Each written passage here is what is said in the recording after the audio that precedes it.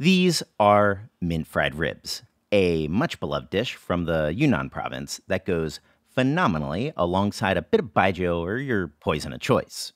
You make them by deep frying a bunch of mint, and then also deep frying some marinated ribs, and then finishing it all by frying it all with some chilies and aromatics.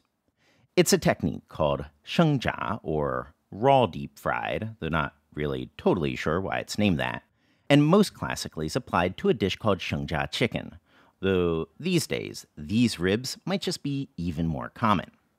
But before we get into this all, I do think that we should probably right size a couple of expectations. Because while these are mint fried ribs, after deep frying, this mint is not going to be all that minty. It's going to be a lot more subtle, hitting a place that's a little more reminiscent of something kind of like tea leaves. Interestingly, it's an approach that you can see a bit around Southeast Asia as well, often with Thai basil or makrut leaves. So while its appearance in Yunnan isn't totally crazy, given the province's geography and ethnic makeup, this dish is the only one in Yunnan, or I guess China by extension, that we can think of that applies this technique.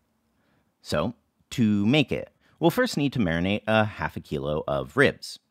These were crosscut spare ribs, but totally use your favorite rib and cut it down to about a size of inch, inch and a half. But for its marinade, we will need to first whip up a bit of ginger scallion water before anything.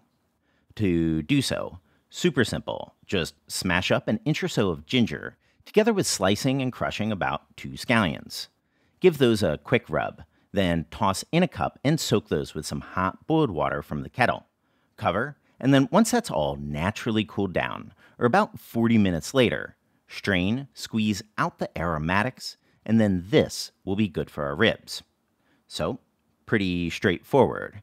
To said ribs, just toss in 3 quarters of a teaspoon of salt, half teaspoon sugar, 1 teaspoon of a red fragrant chili powder, quarter teaspoon white pepper, uh, another quarter teaspoon chicken bouillon powder, or MSG, and give that all a real good mix.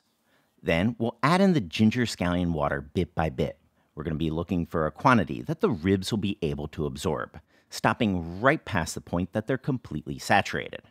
You'll know that by taking your time, stirring constantly as you do so for about a minute or two.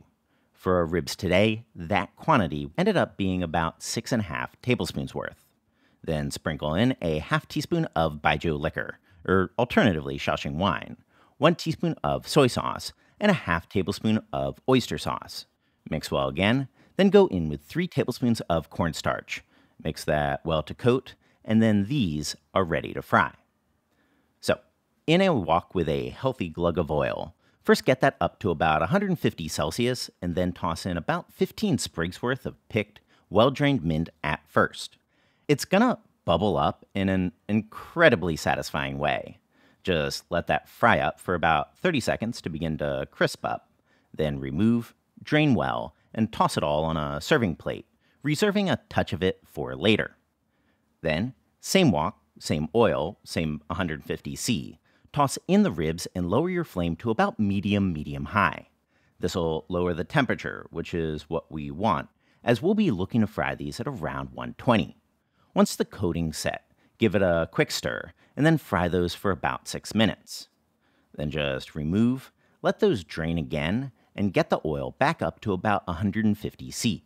Then at this point, we'll go in with 2 cloves of garlic cut into slices, together about 4 to 5 dried chilies cut into sections. Quick stir, go back in with your ribs. Let those fry together for about 30 seconds, then remove and drain. Once it's no longer quite so oily, Onto that, toss that extra mint from before. Give it all a good toss and jiggle, and then lay it over your bed of mint. And then, just like that, your Yunnan mint fried ribs are good to devour. So, how to eat this dish? Well, besides munching on the ribs, uh, one thing to remember is that you can also munch on the mint because it's not so much a flavoring agent, but rather something crispy to eat alongside with your ribs. And of course, you can also eat the crispy chilies and the garlics in the dish. So right, as always, recipes in description box. A big thank you for everyone that's supporting us on Patreon and of course, subscribe for more Chinese cooking videos.